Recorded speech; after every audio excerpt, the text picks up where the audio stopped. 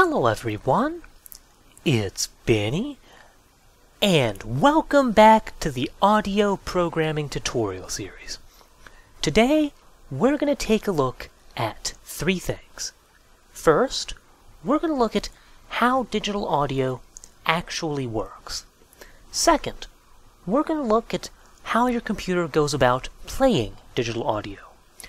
And third and finally, we're going to go back to our simple wave player and really explain and understand how that's, well, really working. So those are the three things we're going to be doing in this video. There's no code, so just sit back and enjoy. Let's begin. So, how does digital audio work? How can you possibly take actual sound waves, a real sound, and store it in a computer? And the answer is very simple. It might not be immediately obvious why it works, but it's pretty simple.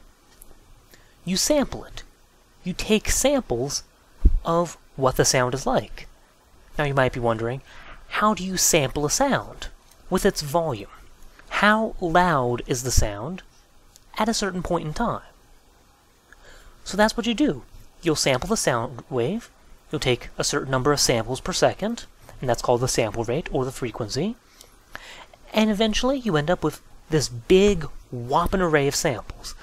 This big array of how loud the sound was at various points in time. And that's it. That's all there is to digital audio. That is how it, it looks on the inside. And like I said, it might not be immediately obvious how this is a satisfactory representation of a real sound. But if I draw it as a bar graph, things suddenly make a lot more sense. If you follow the shape of this bar graph, assuming each bar represents a sample, of course, then you see the shape of the bar graph looks an awful lot like this original sound wave. And of course, as you take more and more samples, it'll get more and more like the original sound wave.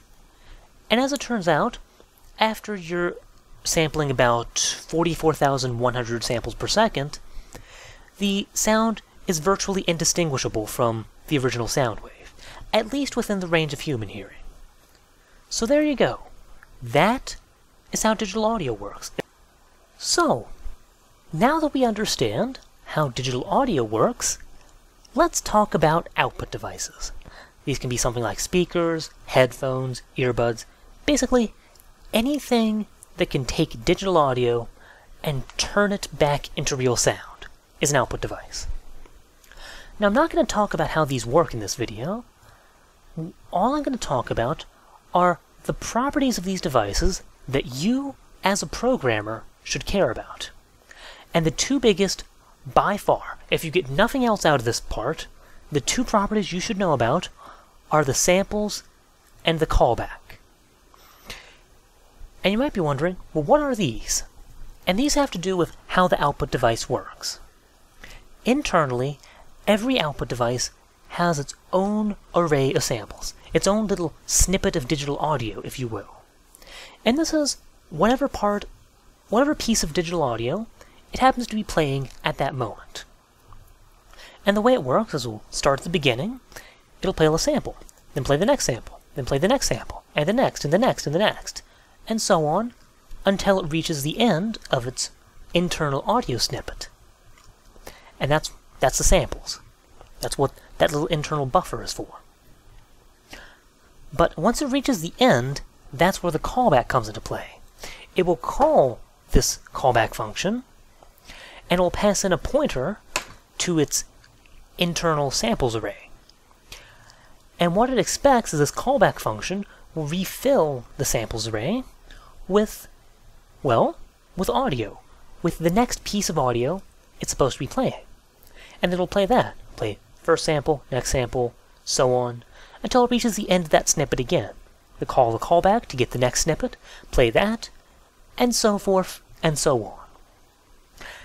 And that's the way these devices sort of tick internally. Now there's more properties of these you might care about. Like sometimes there might be multiple channels, there might be different formats, might play different frequency than you expect. But the nice thing is that all these properties you might care about, in SDL at least, are encapsulated in the SDL audio spec.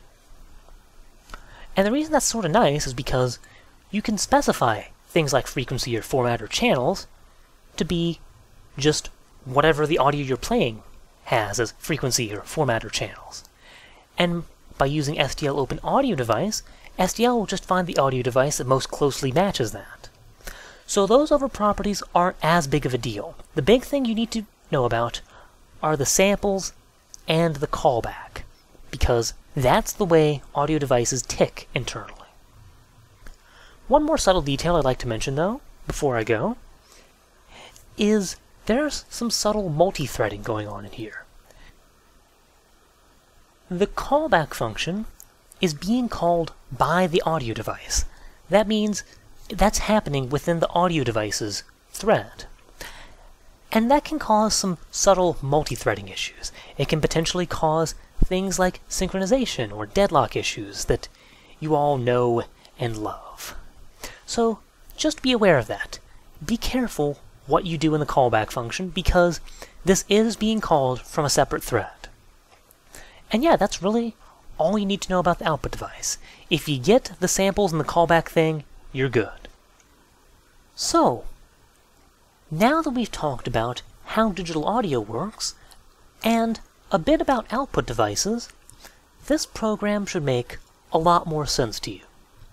For instance, right here, we're loading a WAV file. What does that mean? It means we're finding some array of samples, some array of how loud the audio is at various points in time, and we're storing it in WAVStart.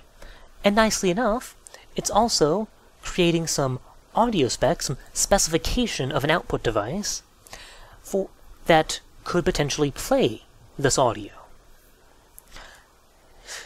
And that way, when we call open device with this specification, it will find some output device that can, well, actually play the audio. And we can use the play function with this device to play the WAV file. But how does the device play the WAV file? Well, it has its own internal array of audio sample, of digital audio. And every time it runs out, it will call my audio callback because we set that as the callback. So, every time it runs out of samples, it'll go in here and copy audio from the way the samples we loaded into the audio device's internal audio buffer. And from there we update the data, wait for the next time it calls, and it'll just keep doing that until the program is ended. So you're free, and I would recommend you taking more looks at this program on your own and getting a little bit more understanding of how it works because it really shouldn't be that bad now. You should be able to work out a lot more details on your own. And yeah, so that's just about all I wanted to cover in this video. I'll leave a few links in the description for some extra reading you can do if you like. But now that we understand this, now that we know how digital audio works and output devices and stuff, you know, all the stuff we did in this program seems pretty cumbersome to do just to play a bit of audio.